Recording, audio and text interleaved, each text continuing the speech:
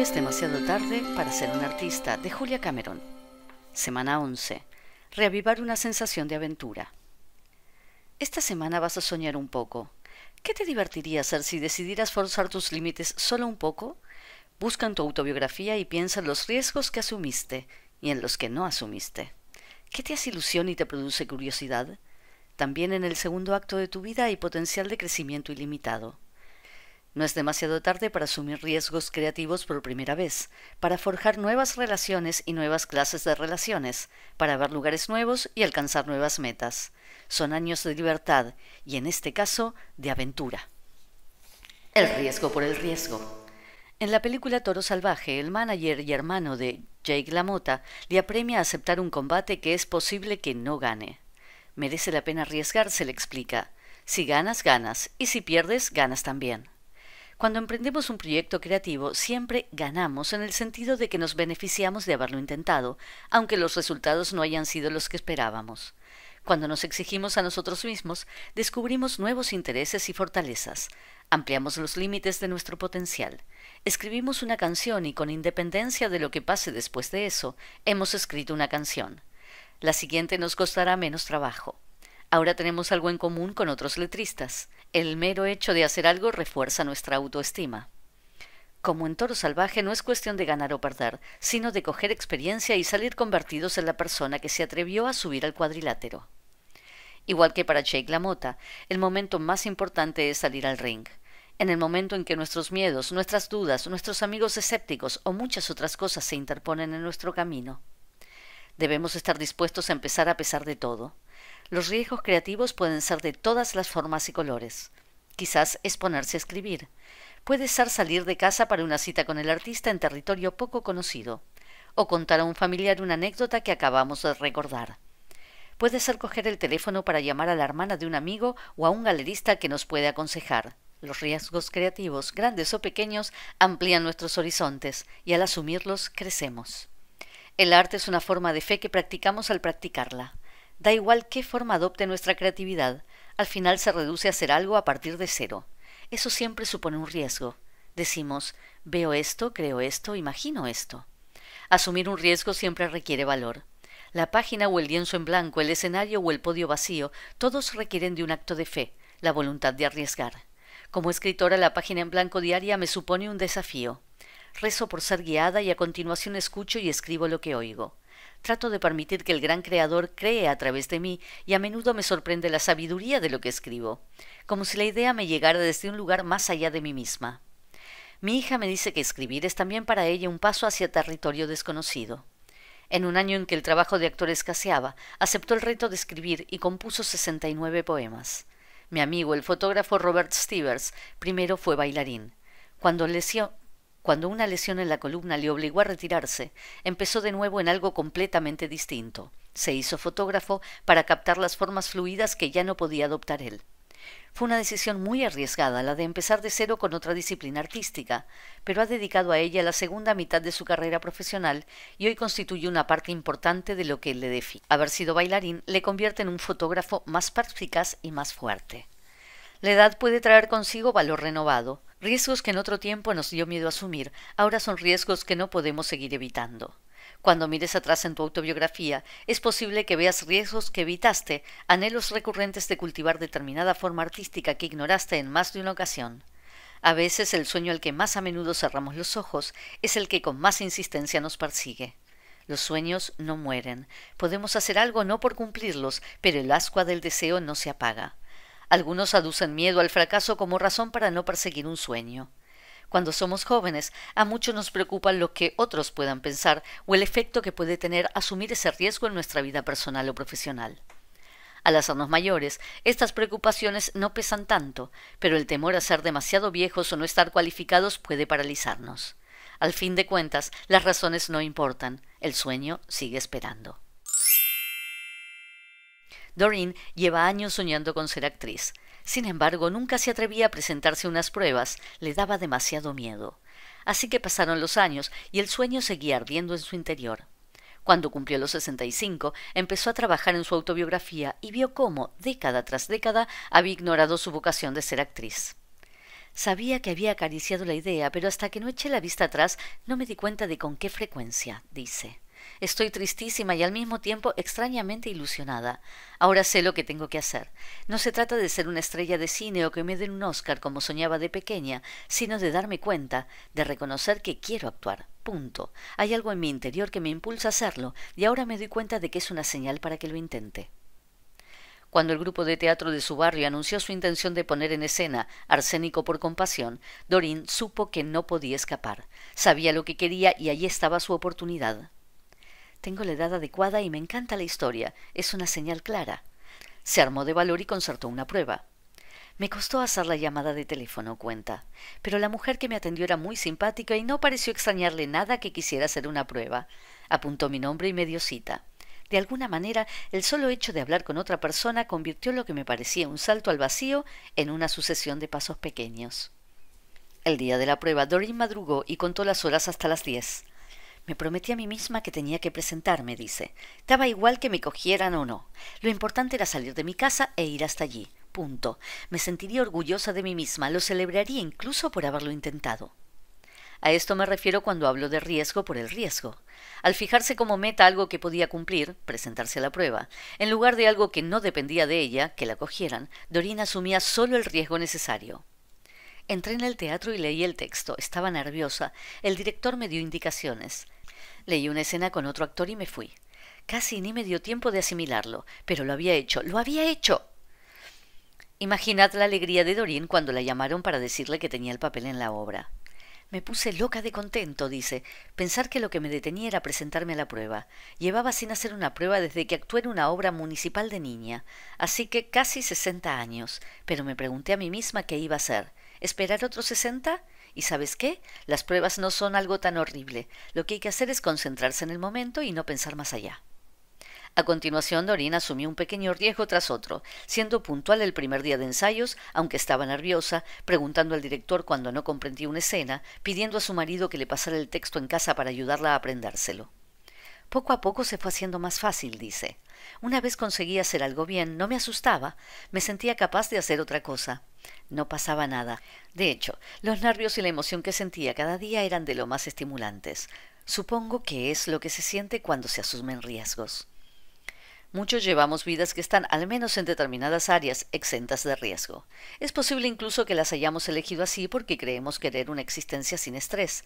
Pero si el estrés generado por las situaciones negativas puede ser perjudicial, el que resulta de superar dificultades puede ser estimulante y motivador. Cuando nuestras vidas se nos antojan rutinarias, tal vez nos sea de ayuda preguntarnos si hay algún riesgo creativo que podríamos asumir pero no lo estamos haciendo. Un poco de riesgo sano nos puede hacer sentir vivos de una manera muy gratificante. Es importante recordar que los riesgos pueden adoptar múltiples formas. Las posibilidades son infinitas, pero la clave del tipo de riesgo que deberíamos asumir está en nosotros. La respuesta debemos darla nosotros. Hacer arte siempre entraña un riesgo, y la recompensa de las actividades artísticas es la experiencia y una obra propia. Los artistas, tal y como dijo Agnes de Mille, dan un salto tras otro en la oscuridad. Cuando supe que quería componer canciones, sentarme y ponerme a trabajar me pareció algo muy arriesgado. Pero me enfrenté al reto, me atreví a sentarme al piano y ponerme a componer. Ya fuera algo bueno o malo, es decir, me presenté a una prueba ante mí misma. Di un salto detrás de otro en la oscuridad y con el tiempo fui creando una obra propia. Muchas de mis canciones han sido interpretadas. Ahora mismo estoy grabando un disco. De no haberme atrevido a escribir esa primera canción, qué distintas serían hoy las cosas. Cuando era niña, mi pony chico saltaba más que muchos caballos. Llevarlo a una clase de saltos siempre era un riesgo, pero era un riesgo que aprendí a asumir y a disfrutar. Chico salió victorioso en muchas ocasiones. Y si no era así, siempre nos quedaba el amor propio de haberlo intentado. Me sigo enorgulleciendo del valor de que se hacía gala, acudiendo a clase una semana tras otra. Saltar con un caballo es el riesgo por excelencia. Una vez decides saltar, no hay vuelta atrás. Tomar la decisión y ponerla en práctica genera muchísima energía y satisfacción. Hoy sigo refiriéndome a los riesgos como saltos. En un día puede haber muchos saltos, una entrevista en directo, una conversación telefónica complicada, un programa de viaje apretado, pero he aprendido a dar esos saltos y también casi siempre aterrizo de pie. Tarea. Riesgo. Termina la siguiente frase cinco veces. Un riesgo que podría asumir sería Tarea Autobiografía, semana 11. ¿Cuántos años tenías? Describe tus relaciones más importantes en este periodo. ¿Dónde vivías? ¿Viviste en más de un sitio? ¿Qué riesgos asumiste en esos años? ¿Qué riesgos quisiste asumir pero que no asumiste? Describe un sonido que te devuelva esos años. ¿Viajaste en ese periodo de tu vida? ¿A dónde? ¿Por qué? ¿Con quién? ¿Qué metas tenías en ese periodo? ¿Las alcanzaste? ¿Tienen esas metas algo en común con las que tienes ahora? ¿Qué cosas te hacían sentir intrépido en esos años? ¿Y ahora? ¿Qué otros recuerdos significativos conservas de esos años? Nuevas relaciones. Es paradójico que cuando iniciamos la, en apariencia monótona rutina de las páginas matutinas, nos embarquemos en una vida de aventura. Cuando rebuscamos entre nuestros recuerdos en busca de pistas, nos encontramos con un mundo interior primero y luego exterior de enorme interés. Una vez exploramos lo que de verdad sentimos, establecer nuevas conexiones constituye toda una aventura. Perry habría dicho que su vida era aburrida, y hasta que empezó a hacer las páginas matutinas y descubrió lo contrario. Al escribir sobre su vida diaria, comenzó a experimentar un acrecentado interés por las personas, los lugares y las cosas que se cruzaban en su camino.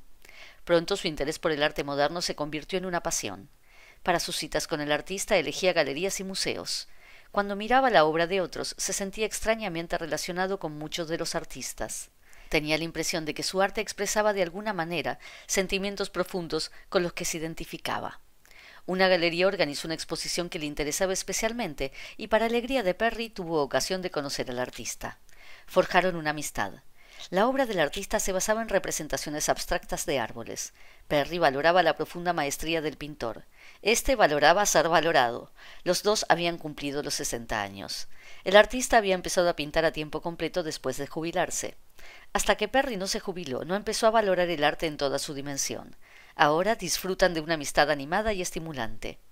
Me alegro de haber hecho esta cita con el artista, dice Perry. Hacer cosas solo en ocasiones te trae nuevas amistades.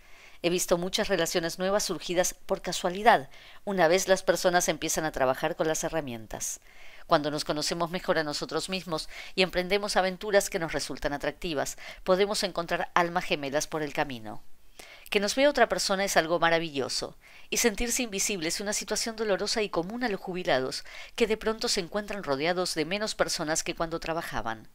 Despojados de su identidad profesional, muchos se sienten invisibles. Si antes tenían contacto diario con numerosos colegas, ahora pasan mucho tiempo más en soledad. De cada uno de nosotros depende forjarnos una nueva identidad una vez jubilados. Esta identidad empieza no como nos ven los demás, sino como nos vemos nosotros. Las páginas matutinas revelan nuestro territorio emocional diario a medida que reflexionamos sobre el pasado y hacemos planes de futuro. Las citas con el artista nos ponen en contacto con una parte eternamente joven y desenfadada de nosotros. Cuando nos permitimos florecer y explorar estas facetas, nos sentimos más seguros de quiénes somos y más preparados para conectar de verdad con los demás. Al envejecer, perdemos nuestra identidad también desde el punto de vista sexual. Vivimos en una cultura de exaltación de la juventud y a medida que la dejamos atrás comprobamos que se nos ve de manera distinta o no se nos ve en absoluto. Esto le ocurre a hombres y a mujeres por igual. No me miran, dice Randolph. Me siento como si estuviera en lo alto de una colina y cuando miro una mujer con admiración, como un depredador. Randolph, un hombre atractivo con más de sesenta años, se desespera con cada nueva arruga. Lo que en otro tiempo llamaba líneas de expresión ahora son simplemente líneas. Es viudo e intenta resignarse a un futuro sin mujeres. Hace poco se renovó el carnet de conducir y necesito una foto nueva. ¿Así soy? exclamó horrorizado. Yo me siento joven, el problema es que no lo parezco. En el aeropuerto de Camino a Europa le preguntaron si había cumplido ya los setenta. En ese caso podía dejarse los zapatos puestos para pasar el control de seguridad. No me ponga años, por favor, le dijo a la gente del aeropuerto y se quitó los zapatos de buena gana para reivindicar los cinco años que aún le quedaban para llegar a esa edad. Cuando se le anima a que hable de su dolor, reconoce Supongo que me siento prescindible. Esta es la esencia del sufrimiento que genera la vejez a los jubilados y pasa por alto un dato fundamental, a saber, que nadie es reemplazable. En las palabras del gran maestro espiritual Ernest Holmes, es justo y necesario que seamos individuos. El Espíritu Divino no hizo nunca dos cosas iguales, dos capullos de rosa, dos copos de nieve, dos granos de arena, ni tampoco dos personas. Todos somos únicos hasta cierto punto, pues cada uno tenemos un rostro distinto, pero detrás de todos está la presencia divina. Dios, nada se repite. Mi amiga Andrea se ha divorciado dos veces y ahora sale con un hombre diez años más joven que ella, pero no deja de pensar en la diferencia de edad. Estás estupenda, le dice él, pero Andrea piensa. Si nos hubiéramos conocido diez años antes. Andrea admira y envidia a las mujeres más jóvenes. Aunque cree que la edad la ha hecho más sabia, le preocupa que esa sabiduría no esté acompañada de sexapil. Pero aquí, de nuevo, la sensación que tiene Andrea de ser reemplazable es la razón última de su miedo y tiene poco que ver con la realidad de su situación. Evita entregarse demasiado porque teme que su pareja la deje por una mujer más joven. Pero si nos centramos en lo que no somos, no podremos celebrar y compartir lo que somos, ni conectar de verdad con personas que valoran nuestro verdadero yo. Si nos centramos en quienes somos, en el aquí y el ahora, nos aceptamos a nosotros mismos y permitimos que los demás lo hagan también. Las personas que se consideran jóvenes de corazón, en el segundo acto de sus vidas a menudo encuentran un compañero. La sabiduría que trae consigo la edad les permite valorar y disfrutar al máximo su nueva relación romántica. Jamás me habría esperado esto. ¡Qué feliz soy! exclama Elizabeth. Recién casada por segunda vez, Elizabeth no da crédito a lo que llama su buena suerte. Su marido es un ingeniero jubilado que está lleno de proyectos. Después de que su primer matrimonio terminara de forma catastrófica, Elizabeth tuvo que sacar adelante sola su rancho haciendo retratos por encargo. Lo consiguió, pero siempre andaba justa de dinero y algunos meses no estaba segura de poder pagar la hipoteca. Siempre iba de salto de mata y no podía disfrutar mi arte porque había demasiadas cosas que dependían de él. Cuando Elizabeth conoció a Yel, este acababa de quedarse viudo después de una lucha de siete años con el cáncer de pecho de su mujer. Era un hombre maravilloso, pero yo no quería ser una mujer tirita. Por su parte, Yel supo enseguida que Elizabeth era su milagrosa segunda oportunidad de ser feliz. En el cortejo estuvo presente la creatividad de los dos. A él le causaban admiración los retratos de Elizabeth y a ésta le entusiasmaban sus proyectos. Ahora que se había jubilado y él tenía tiempo y energía para dedicar una relación y empleó grandes dosis de creatividad en cortejar a Elizabeth. Por su parte, ésta tuvo que aprender a compatibilizar una relación sentimental con su carrera profesional y él era divertido y Elizabeth llevaba mucho tiempo sin divertirse. Le costaba trabajo. Trató de no asustarse a medida que descubría lo enamorada que estaba. Cuando él le propuso matrimonio, se hizo cargo de Elizabeth y del rancho, puso cercas y cancelas nuevas y añadió un picadero cubierto, todo un lujo. Para la boda también tiró la casa por la ventana. Es la mujer que quiero y todo es poco para ella. Por primera vez en años, Elizabeth pintaba por el placer de pintar. La alegría de vivir de su marido terminó por contagiarle y declaraba Siempre estamos muy ocupados. A los dos nos encanta trabajar. La jubilación de Yale nos proporciona una ocupación a tiempo completo. Es posible establecer nuevas relaciones con personas que nos traen amistad, emoción y amor. Trabajar en nuestra autobiografía nos ayuda a que esto suceda. Cuando regresamos, comprendemos y por consiguiente cerramos nuestras heridas pasadas, entretejemos nuestro yo pasado con el actual. Esto nos hace más fuertes. Si somos más fuertes, tenemos más que ofrecer al mundo y a las personas con las que lo compartimos. Tarea, visibilidad. Para que los demás te vean mejor, el primer paso es verte a ti mismo con mayor claridad. Busca en la autobiografía un momento de tu vida en que te sintieras invisible o tuvieras la sensación de que lo que hacías no merecía reconocimiento alguno y escribir sobre ello. Profundiza en los detalles. ¿Pasabas largos días trabajando en una granja y solo tú veías los resultados? Hacía frío y viento, tenía tu bufanda de cuadros rojos un surcido. Describe todo lo que recuerdes. Quizá prefieras usar la tercera persona. Se levantaba a las tres y media de la madrugada y ponía a hervir agua en una olla desvencijada mientras sacaba la misma ropa todos los días. Cuando termines de escribir, quizás sientas que has sido capaz de verte desde fuera, o puede que necesites compartir este recuerdo con alguien. Es posible que tanto a tu lector como a ti os sorprenda la intensidad emocional de un recuerdo que creías poco memorable. Viajar en busca de nuevos horizontes. La jubilación puede significar libertad. Ya no nos atan un trabajo o una rutina y somos libres para viajar. Durante nuestra vida profesional muchos hemos viajado solo por negocios. Es posible que hayamos asistido a congresos en lugares exóticos y estado tan ocupados que no pudimos disfrutar de la belleza que nos rodeaba.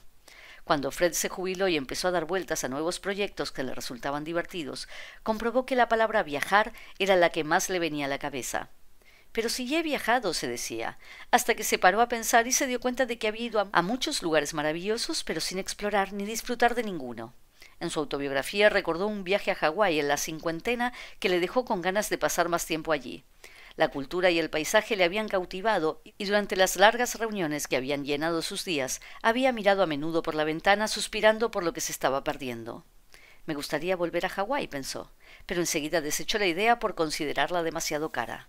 Fred, le insistí, investiga las opciones. Soy como un niño con la nariz en el escaparate de la tienda de caramelos, refunfuñó obstinado, al que no dejan entrar. Pero lo que resulta frustrante es que soy yo el que me detengo.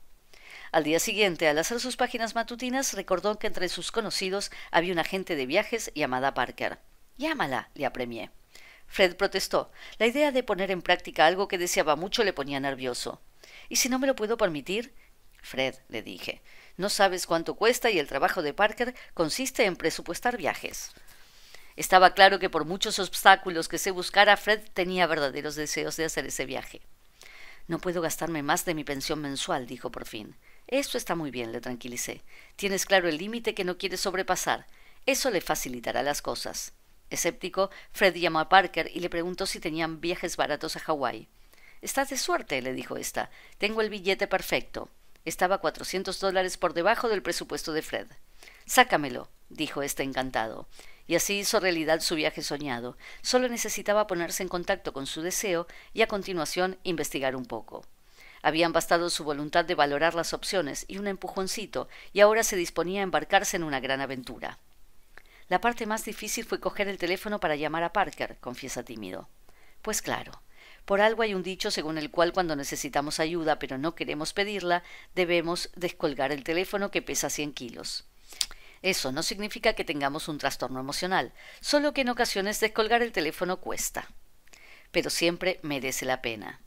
George, al igual que Fred, tenía deseos de viajar, pero no llamó a ninguna agencia de viajes, sino que se puso en contacto con AAA, el club automovilístico del sur de California, y con su ayuda organizó una ruta en coche por parques nacionales. Llevaba veinte años viviendo en el suroeste de Estados Unidos, pero no había visitado el Gran Cañón, el desierto pintado ni el Valle de los Monumentos. Me encanta conducir y el viaje me resultó una delicia. Iba a mi ritmo, me paraba cuando quería, fue el viaje de mi vida. Decidí que haría uno anual, el siguiente por el Pacífico Norte. Nunca había hecho acampada, pero me llamaron la atención los campings que vi por el camino.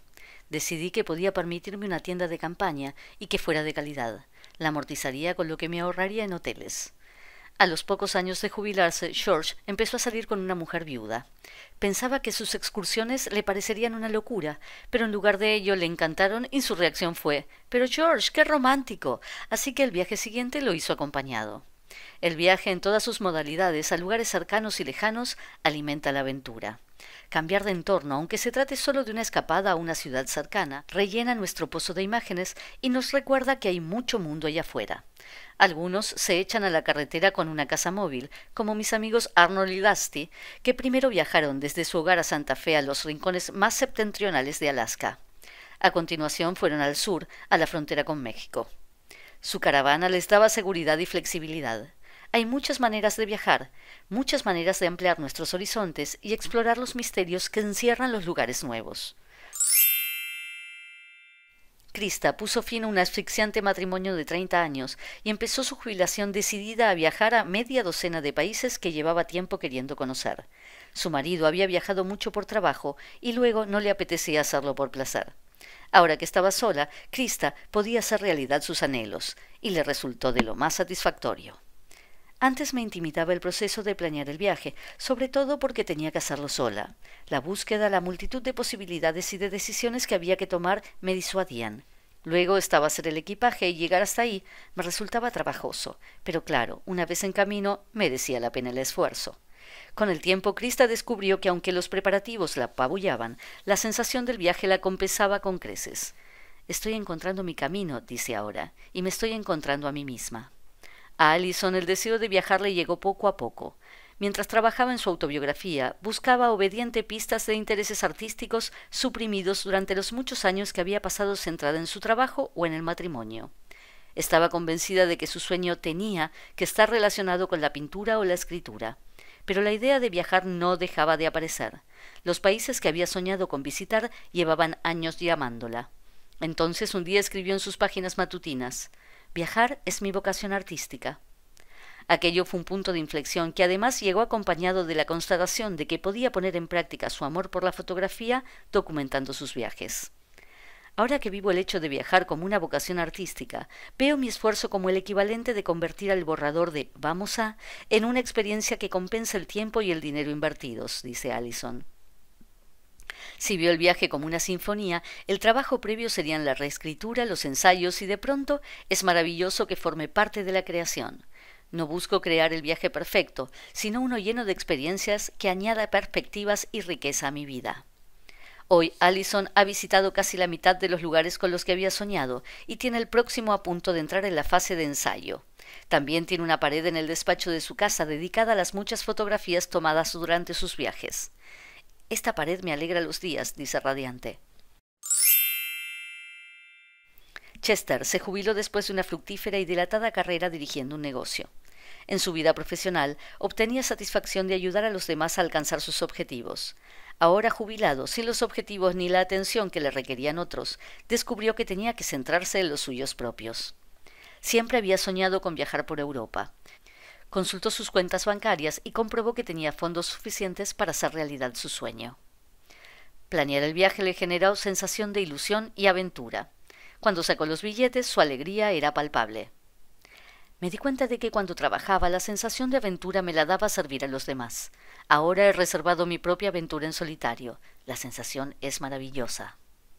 Amanda, ministra de la Iglesia durante más de 20 años, descubrió que podía colmar su sed de aventura asistiendo a conferencias sobre sus intereses, escuchando a distintos oradores explicar sus teorías sobre la vida cristiana. Luego aplicaba estas teorías a la preparación de sus sermones.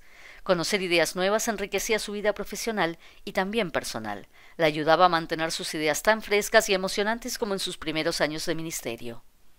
Para algunos de nosotros viajar requiere mucho tiempo y planificación. Para otros basta un fin de semana en un lugar cercano para aplacar el gusanillo y alimentar la creatividad. La idea de cada uno de lo que constituye el viaje ideal es única, pero la recompensa que trae consigo un cambio de escenario siempre influirá en nuestra creatividad, porque llega acompañada de imágenes y percepciones nuevas. Tarea. Explorar la idea de viajar. Completa las siguientes frases. Un viaje largo apetecible podría ser A. Un viaje corto apetecible podría ser A siempre he querido ver. Me gustaría pasar tiempo en. De los sitios que tengo cerca de casa me gustaría conocer. Sería divertido viajar con. Preferiría no viajar con. Una cosa que me preocupa de viajar es. Una cosa que me hace ilusión de viajar es. Quizá debería planear un viaje a. Fijar nuevas metas. Cuando nos jubilamos nos convertimos en nuestros propios jefes. Por muy acostumbrados que estemos a alcanzar metas fijadas por otros, o al menos metas en las que participan otros, a menudo carecemos de experiencia estableciendo objetivos que nos atañen exclusivamente. Es posible que las páginas matutinas nos conduzcan de forma natural a metas propias. Tengo una bolsa de tela para hacer la compra con citas inspiradoras impresas. Una de ellas anima a poner por escrito metas cuatro veces al año. Fijarnos metas pone en marcha nuestro ordenador interior, explica la cita. Yo uso las páginas matutinas para fijarme objetivos que plasmo en la página en forma de deseos. Me gustaría escribir una obra de teatro, pero ¿sobre qué? Este deseo indefinido pronto se convierte en una tarea. Mañana empiezo. Una vez la meta se concreta, voy dando pequeños pasos hacia su consecución. Me gustaría sentirme más espiritual, se convierte en la meta, me gustaría leer más plegarias de Ernest Holmes. Empiezan como deseos y se transforman en planes. Me gustaría estar más en forma, pasa creo que voy a empezar a correr. A continuación matizo con mejor empezar poco a poco. Primero diez pasos corriendo y diez caminando, otros diez corriendo y otros diez caminando. No hay ninguna esfera de mi vida que no se beneficie de esta manera tan natural de fijarme metas. Pueden ser en cualquier campo, creatividad, espiritualidad, forma física y otras. Cuando me fijo metas, transformo lo impreciso y lo no factible en algo factible me gustaría tener una fotografía para mis publicaciones, se convierte en hablar con Robert para hacerme otra. Adelgazar se convierte en igual debería hablar con Dick de la dieta vegana. Él ha perdido 20 kilos. Las metas pueden empezar como cavilaciones, deseos, pensamientos, y cuando cobran forma surgen los planes de acción. Fijarse objetivos y perseguirlos da mucha energía. Empezamos con las páginas matutinas explorando nuestros deseos con total libertad. Día tras día las ideas se van definiendo. De la página surgen planes concretos. Nos vamos conociendo palabra a palabra y también palabra a palabra nos volvemos más fuertes. Me gusta escribir a mano. Cada hoja manuscrita conduce a un pensamiento nuevo. Hace poco un amigo me envió un artículo que afirma que escribir a mano es más creativo que hacerlo con el ordenador. Así que sigo redactando a mano los borradores de mis obras, feliz de que haya demostrado científicamente que eso abre nuevos caminos neuronales. Pero después, ¿qué? He puesto mis pensamientos por escrito y ha llegado el momento de usar el ordenador. Estoy entrando en la fase del proceso relativa a la edición y publicación y por consiguiente también en la fase electrónica. Hace poco escribí en mis páginas matutinas, me resultaría de ayuda saber usar mejor el ordenador, que se convirtió en debería buscar a alguien que me ayude, voy a preguntar. Ahora tengo un ayudante, Kelly, que me está enseñando el arte de los ordenadores. Para mí, hacer pequeños progresos en el uso de mis dispositivos resulta liberador y tonificante. Cuando nos jubilamos también podemos fijarnos metas más ambiciosas, y no es raro que a estas alturas de la autobiografía este tipo de metas empiecen a hablarnos al oído. A veces somos muy conscientes de ellas, otras nos pillan por sorpresa.